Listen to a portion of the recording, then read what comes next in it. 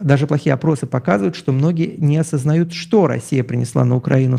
Э, проблема не в том, что люди не знают, что происходит на Украине, проблема в том, что людям все равно не потому, что они какие-то уникальные людоеды, а, а им это все равно по той же причине, почему вам все равно, что сегодня происходит в Йемене, а по той же причине, а, что вам все равно, что сейчас происходит в Северной Корее, что сейчас происходит там с палестинцами в, в Израиле, да, или наоборот с евреями в Израиле, неважно, какую бы сторону вы ни занимали. Вам все равно отдавайте себе, просто отдавайте себе отчет, что огромному количеству людей в России точно так же все равно. Они в этом не уникальны, это не русские какие-то уникальные орки, а это свойства людей, которые занимаются своим делом и хотят, чтобы от них отстали. Человек хочет работать, там, он работает продавцом в магазине, и он хочет работать продавцом в магазине.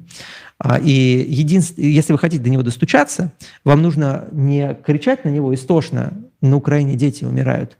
Вам нужно ему объяснять, почему его жизнь сейчас станет говном, а почему а, его мечты не сбудутся, почему он будет беднее своих родителей, почему он будет беднее себя пятилетней давности, и что это значит в перспективе, почему у него будет нищая старость. Вот этими словами вы до него достучитесь гораздо вернее, чем если будете у него перед носом э, трясти фотографиями преступлений путинской армии, потому что этим вы скорее его только раздразите. Он не считает себя к этим причастным, и тоже совершенно справедливо не считает, потому что в России общество не субъектно. А он эту войну не хотел, а, и когда вы ему перед носом трясете фотографиями, а, все, что он видит, он видит, что вы давите на жалость а, для того, чтобы он, для того, чтобы чего-то от него вытребовать. Вот буквально выглядите как э, попрошайки на улицах. Да? На кого-то это работает, но это очень ограниченное количество сердобольных людей, которые на самом деле своей сердобольностью зачастую могут принести больше вреда, чем пользы.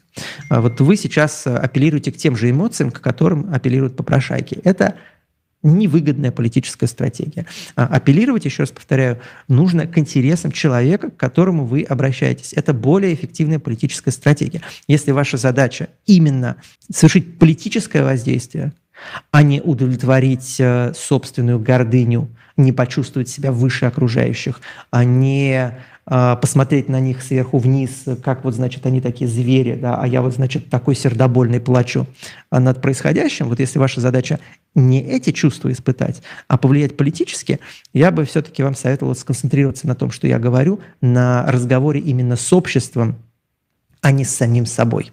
А это важная мысль.